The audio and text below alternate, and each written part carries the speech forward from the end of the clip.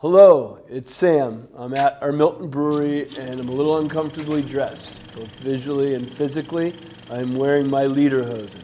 And that is because we very, very rare, very rarely brew lagers at our brewery, bottom fermenting beers uh, that uh, traditionally come from uh, Germany and Bavaria. And, uh, but occasionally we have an idea for a beer that can only be a lager uh, and this is certainly one of them. Today I am talking about Beer Thousand, our collaboration with our pals Robert Pollard and Guided by Voices, one of my favorite bands of all time.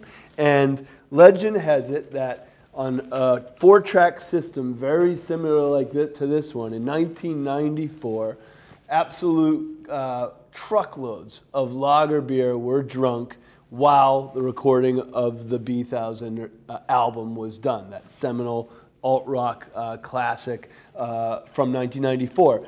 At that same time, when that album was done, I remember buying it and working on uh, a plan for a, a brewery that started super, super small with simple equipment, much like that four track system that you can barely see here, which was our original brewery that we made out of kegs. So DIY uh, is in the blood of Dogfish Head, and DIY is definitely in the blood of uh, GBV. So when we got together with him and said, let's do a beer that celebrates the 20th anniversary of this album as Dogfish Head uh, heads into our 20th anniversary uh, next year, we said, well, it's got to be a lager, but how can we do it in a way that celebrates uh, the, the Bee Thousand name and, and theme? So we came up with the idea of sourcing from kind of around the world uh, 10 different varieties of hops and 10 different varieties of grain and make this beer 10% alcohol. So 10 times 10 times 10 equals 1,000, hence beer 1,000. So imagine if your uh, sort of generic American light lager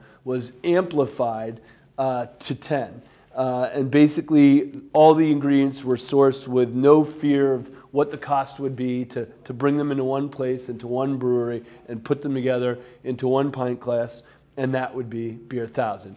There, we're doing a different kind of thing format wise with this beer. Besides four packs, 12 ounce, there's going to be a very short run of 750 ml bottles that are very, very special because Bob Pollard picked out a 10, hence the going of the theme here, a 10 song collection of some really, really great Guided by Voices tracks. Highly, highly collectible. This six pack of 750 ml bottles and the 10 inch uh, song, 10 album thingy that we got going there. And otherwise, you'll be able to find it in four packs in all the 31 states that Dogfish Head does business in. The club is open. Come on, come on. The club is open. Cheers.